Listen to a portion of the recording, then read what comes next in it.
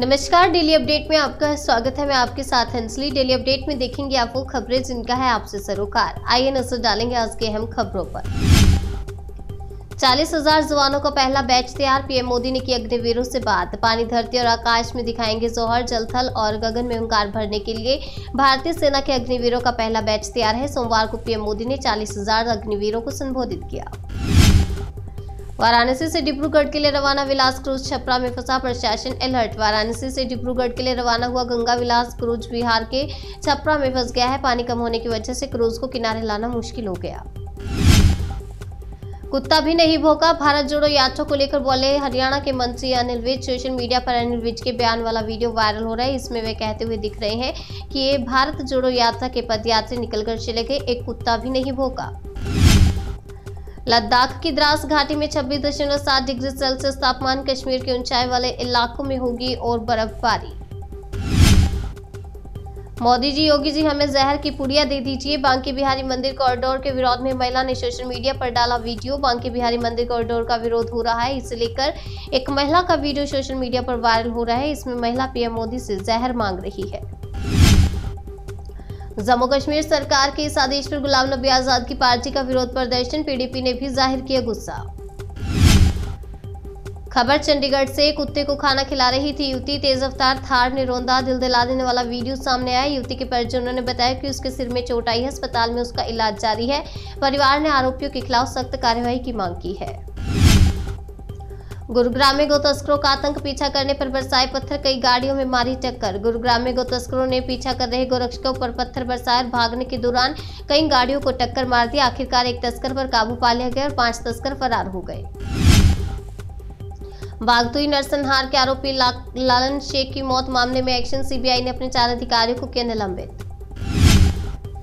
जोशीमठ में संकट लगातार जारी है। अब कल से लेकर अब तक तो 11 घरों में दरारें बढ़ी। इनमें दो बड़े होटल भी शामिल। अलग अलग टीम जोशीमठ में भूदसाव को लेकर परीक्षण किया जा रहा है। बीजेपी का सीएम केजरीवाल पर निशाना कहा करप्शन करने का बहाना है। शिक्षकों को ट्रेनिंग के लिए विदेश भेजना। बीजेपी ने कहा है कि दिल्ली में प्रधानाचार्य के 755 पद उप प्रधानाचार्य के 418 और सबसे ज़्यादा शिक्षकों के 24,000 पद खाली हैं। इन पदों पर भर्ती करने की बजाय सरकार ड्रामा कर रही है। जबलपुर के नवोदय स्कूल में सीनियर्स ने की जूनियर की जमकर पिटाई। सात छात्र सस्पेंड। जबलपुर के जवाहर नवोदय विद्यालय में कुछ सीनियर छात्रों ने आठवीं के एक छात्र को बुरी तरह से पीटा। वहीं मामले के सामने आने के बाद उन सीनियर छात्रों को सस्पेंड कर दिया गया। बर्फ़ की सफ़ेद चादर से ढका केदारनाथ धाम। तीन फीट जमी बर्फ़। बिजली आपूर्ति भी हुई ठप। उदयपुर में आठवीं क्लास तक के सभी स्कूल 18 जनवरी तक रहेंगे बंद। प्रदेश में भीषण ठंड को देखते हुए उदयपुर जिला प्रशासन ने छोटे बच्चों को ठंड से बचाने के लिए आठवीं कक्षा तक के निजी और सरकारी स्कूलों को 18 जनवरी तक के लिए बंद करने का फैसला किया। खबर, कर्नाटक से बेलगावी में नगर निगम ने दिया फातिमा मस्जिद को बंद करने का नोटिस। कर्नाटक में बेलगावी स्थित फातिमा मस्जिद पर कुछ हिंदू संगठनों को एतराज़ था। पिछले काफ़ी समय से इस पर विवाद था। अब नगर निगम ने इस मस्जिद को बंद करने का नोटिस जारी कर दिया। मुंबई जाली नोट का इस्तेमाल करने के मामले में पेंटर गिरफ़्तार। आपको बता दें, तैंतीस साल के पेंटर को जाली नोट का इस्तेमाल करने के मामले में गिरफ़्तार किया है। शख्स का नाम हनीफ शेख है, जिससे पुलिस ने दो सौ के कुल 300 जाली नोट बरामद किए। नेपाल प्लेन क्रैश में सिंगर नीरा छंतियाल की हुई मौत। नेपाल प्लेन क्रैश हादसा इन दिनों चर्चा का विषय बना हुआ है। इस भयानक प्लेन क्रैश में नेपाल की फ़ेमस सिंगर नीरा छंतियाल की मौत हो गई।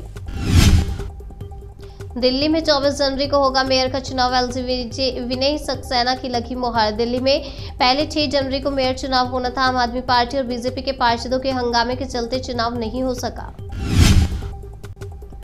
डेली अपडेट डेली अपडेट में आज के लिए फ़िलहाल इतना ही। तब तक के लिए बने रहिए हमारे साथ और देखते रहिए चैन सेतु, चैन से सरोकार।